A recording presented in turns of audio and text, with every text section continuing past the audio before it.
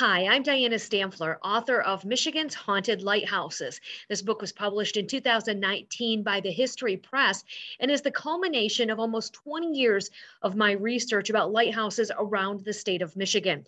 If you are not aware, Michigan has more lighthouses than any other state at over 125, with about three dozen of those rumored to be haunted.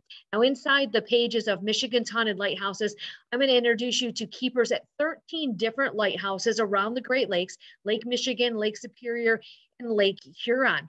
You'll be introduced to folks like John Herman, who was a lighthouse keeper at Waugoshance Shoal Lighthouse. That's located in the Straits of Mackinac. It's actually in a state of disrepair right now. But John Herman was quite a prankster, and it is said that he locked his assistant keeper in the tower one night and then was never seen again. I was able to find some real information about what happened to him in October of 1900 at the time of his death. You'll also meet families from Marquette and Whitefish Point, which are rumored to be haunted and have had paranormal investigations.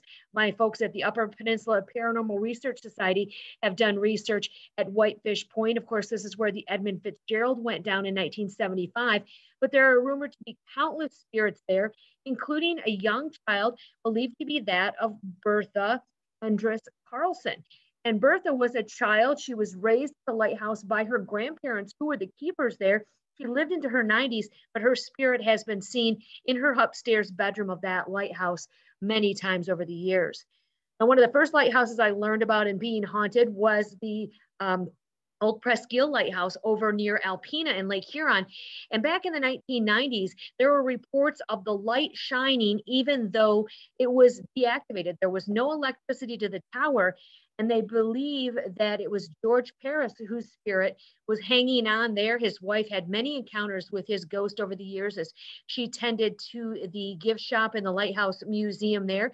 And when I spoke there in 2019 in that community, actually asked those in attendance, about 80 people in attendance at the program, how many of them had seen the light themselves shining unexplainably over the years. And I want to say close to 90% of the hands in that room went up that day. Now, I made a drive down to the lighthouse that night to see if I could find it shining for me. And unfortunately, I did not experience that. But I did do a paranormal investigation with a lot of strange happenings at Fort Gratiot Lighthouse. Located in Port Huron, dates back to the 1820s and is Michigan's oldest lighthouse and is still an active light. And in fact, they do paranormal investigations there every October that the public can take part in.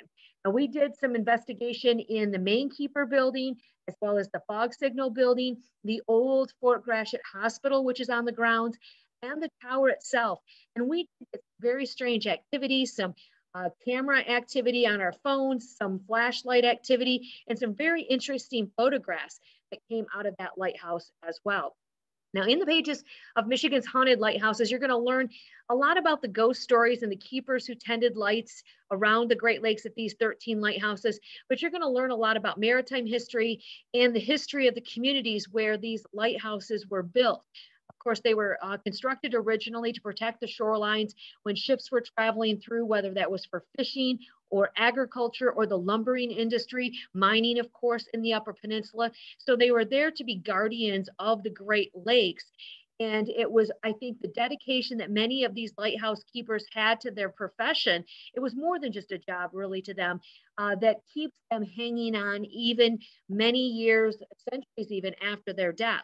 Now, we have some keepers like Bill Robinson at White uh, River Light Station in Whitehall. He served over 40 years at his lighthouse, passed away in the light. He and his wife are still roaming inside that lighthouse today. And I find that quite a, a romantic story uh, about their love of each other and of the lighthouse. So I invite you to check out Michigan's Haunted Lighthouses. You can get it at mihauntedlighthouses.com.